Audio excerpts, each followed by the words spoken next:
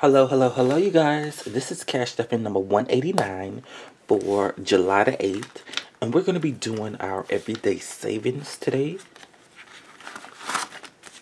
So with our everyday savings, we're going to save the month number every single day. And I know you're asking, well, why are we going to save the month number every single day? Well, we're going to save the month number every single day because if we do that, we're going to have a total of $2,382 for the rest of the year. So I'm, uh, I know y'all are like, well, okay, well, how are we going to get to that number? Well, January is the first month of the year. So you're going to save $1 a day.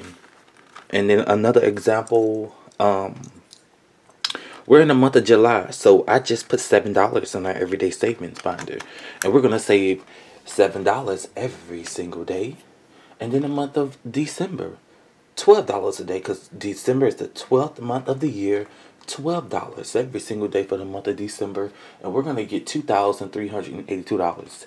You guys can count it if you want, you know.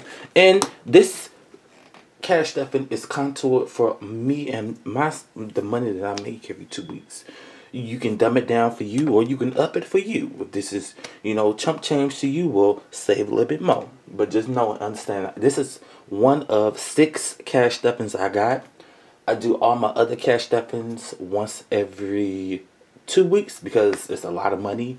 Like I got two cash stuffings, normally it's around a hundred dollars, and then I got one that's like fifty, and then I got another one. It's a staggered one, so it goes up a dollar every